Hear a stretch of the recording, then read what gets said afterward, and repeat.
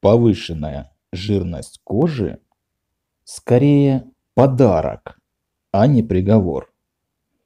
Многие представительницы прекрасного пола, имеющие жирную или комбинированную кожу, ведут постоянную борьбу с этим, по их мнению, большим недостатком кожи.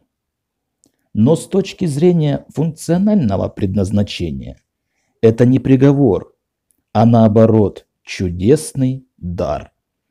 Ведь воздействие кожного сала на кожный покров сравнимо разве что с воздействием сказочного крема.